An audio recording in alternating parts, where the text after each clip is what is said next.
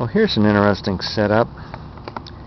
I got this little reed switch pulse motor out here on my patio being run by a homemade solar powered thermoelectric generator.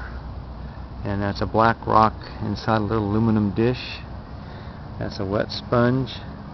And I'm using a Peltier module that normally is used for cooling like in coolers or computers and I'm running it backwards to make electricity. And what it is is uh, it's just like a greenhouse. Heats up in here it's cooled down under there and you end up with an electric generator. And this is being run backwards to the way it normally runs but it makes electricity this way. And this is what she's putting out not much. About 9 milliamps though and this little uh, pulse motor will run on the low voltage if you give it enough amperage. And uh, I've got a LED under here that I've covered up so I don't get any uh, input from the sun from the LED and the rotor is um, just a lid and that's a brass flathead screw. And thanks Dick for the recommendation of using brass. That made all the difference on the bearing surface there.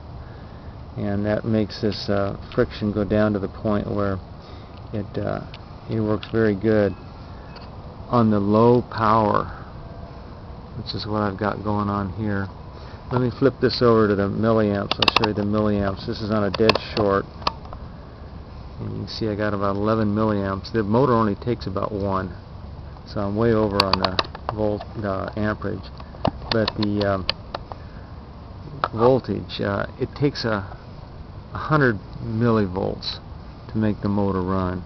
So this little generator um, on a sunny day uh, works quite nicely. And like I say it's just a Peltier module. This is not a thermoelectric uh, module uh, except uh, in that I'm using it backwards. Normally this is for cooling and I'm using it for a, uh, a generator.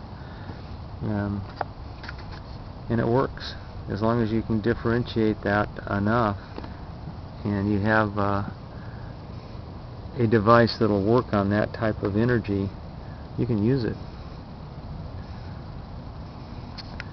That's my little uh, thermoelectric solar powered pulse motor with a generator attached. Thanks for watching